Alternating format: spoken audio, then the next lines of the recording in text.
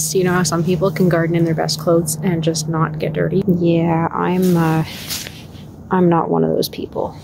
Good morning. I think the plan today, because the sun is out, so it's thawing the ground, is to get the 150 bulbs I have planted in that front strip along the lawn. I've got a whole bunch of daffodils, crocuses, and snowdrops to plant. So that's what we're planning to do today. And now we just have to wait about an hour for the ground to warm up just a little bit more before we plant the daffodils. I have quite a few bulbs to plant this year. It's only 150, which would be not very many for some people, but that's the most bulbs I've ever planted in a year. Um, I've got these from a few different sources. I got the big bags from Home Depot and then the smaller, more interesting varieties from West Coast Seeds. So starting out with this really big bag of uh, 60 daffodils and then also from West Coast Seeds I got these yellow ocean mini daffodils. I'm excited for these mini ones.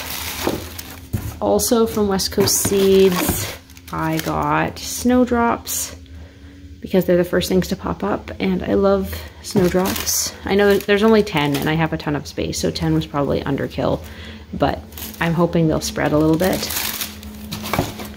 And then also from Home Depot I got these 40 assorted crocuses and crocuses from West Coast Seeds. I got three varieties. I have Cream Beauty,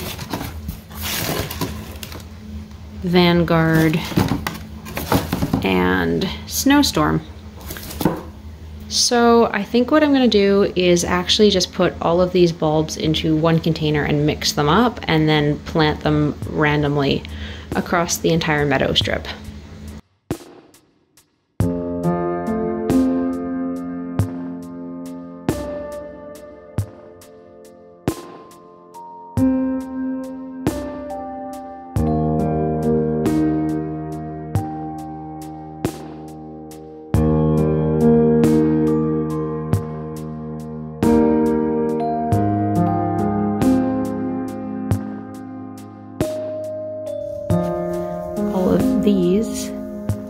To go in there.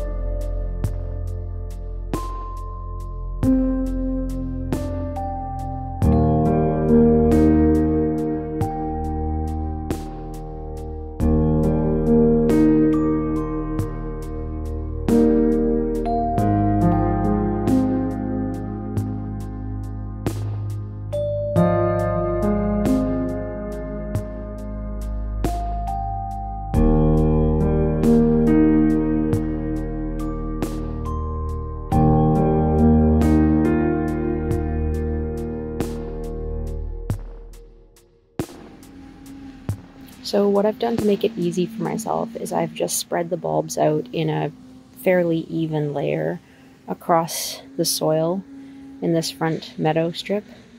And then I'm just going along from left to right and burying each bulb wherever it landed. And hopefully that'll give me a pretty even spread of spring color next year. Sorry about the background noise in all of this my neighbors are all leaf blowing and mulching and mowing. It's it's quite a noisy day in the neighborhood. Bulbs like tulips and daffodils and crocuses are pretty easy to plant in theory, but in practice, when the ground you're planting into is overturned sod that's only partially decomposed, it becomes a lot harder. Little bulbs like this crocus are really easy to plant even in poor soil because you don't need a very deep hole. Whereas larger bulbs like this daffodil can be pretty tricky to plant if you have hard compacted soil or clay soil or overturned sod like I have here because getting the hole twice as deep as this bulb is quite the feat. Basically, as a rule of thumb, you just want to dig your hole twice the depth of your bulb. More is good if you have critters that might dig them up, but at a minimum, get the hole twice as deep as your bulb. And you can basically plant your bulbs in the fall anytime before the ground is frozen. So it's pretty flexible. Just make sure your temperatures have cooled off, but the ground isn't frozen yet.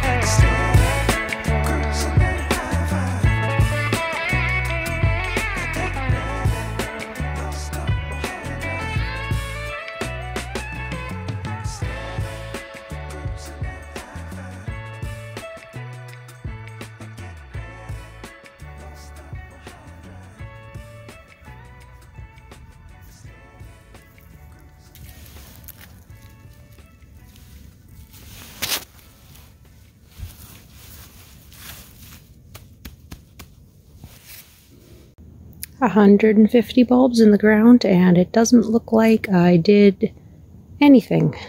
Nothing like a project where the before and the after look exactly the same. Well guys, thanks for hanging out with me this week. We got some really big stuff done in the garden this week. We planted 150 bulbs in this meadow. It was a pretty good week overall. Alright, until next time. Bye.